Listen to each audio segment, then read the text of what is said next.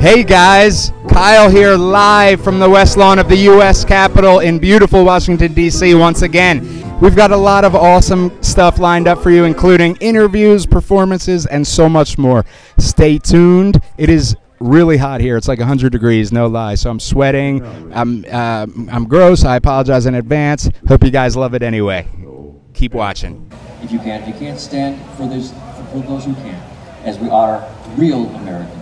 All right, so decades together. What does that mean to the two of you? Good decades. What does that mean to the two of you to be uh, have, having worked together for so long and built such a legacy? Well, our group started out as a family hobby, singing at birthday parties and Christmas parties and stuff like that, and it became a profession due to the fact my cousin Brian and I wrote some some songs together. And this guy, George, wrote uh, one of the biggest uh, hits of all time. I write the songs, but Right. but all of our collective guys in the band.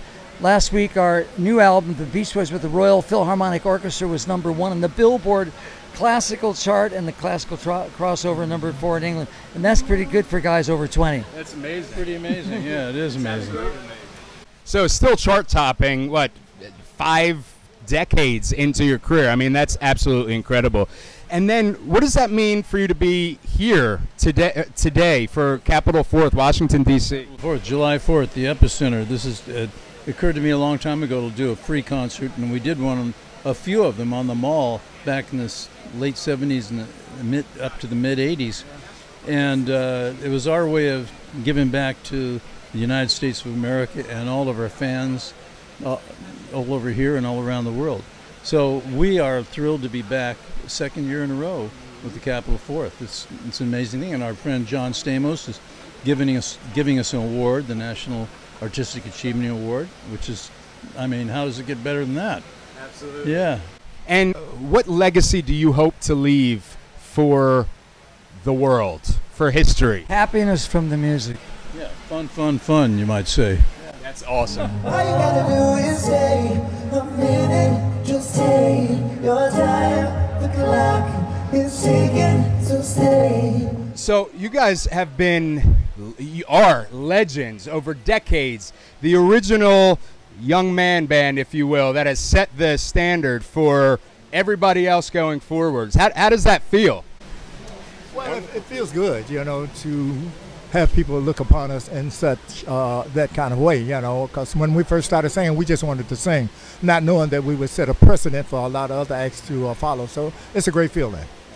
And what does this mean to you to do something as American as American as the, the Temps, the Temptations, Motown performing for the Fourth of July at the U.S. Capitol? How, how does that feel for you guys? It's a wonderful feeling. You know, we enjoyed it. And we've done it before.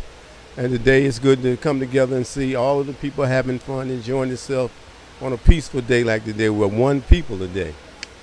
Yes, we are.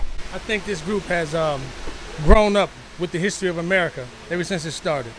And uh, since the group has started, it's been in every facet of the world, through everything we've done as Americans. And this is truly an American icon group.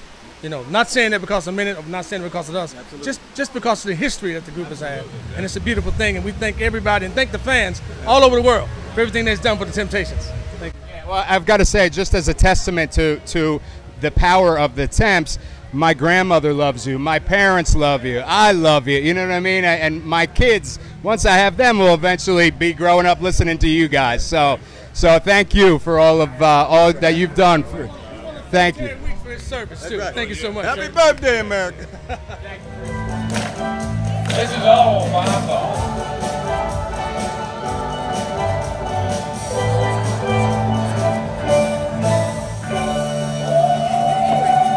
So I am here with Renee Fleming. Once again, we talked uh, last year, I believe. Memorial Day, exactly. Yes. Great to see you. Great to see you. Thank you. And so uh, today you were singing an absolutely beautiful song.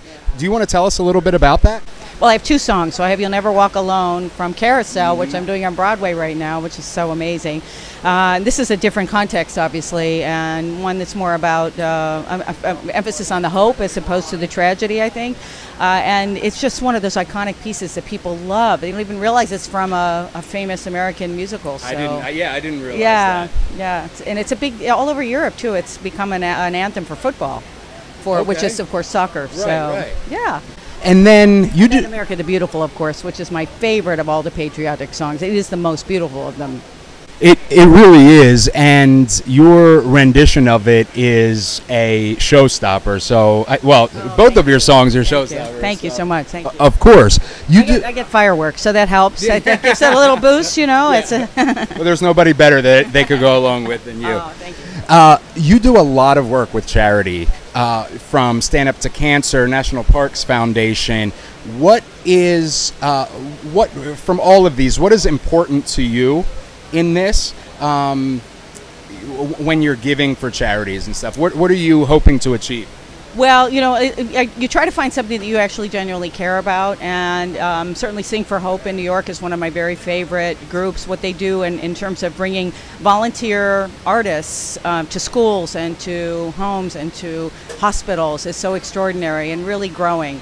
Um, and then, of course, Polyphony in Israel, bringing together both Jewish and Arab children within Israel around music, around the subject of music, and it's growing like crazy. So, you know, we do this because obviously we want to we want to really feel good about things, and frankly, that very often starts in small doses in the bottom, and we can make a real difference if we all do something.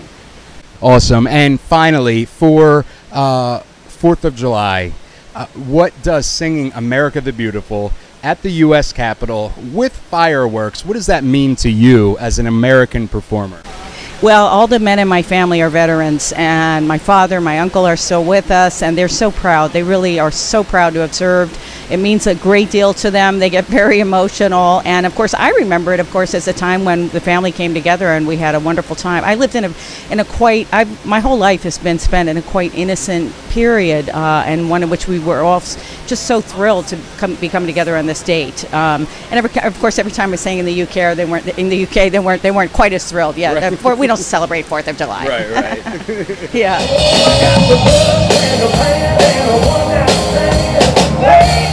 down the road.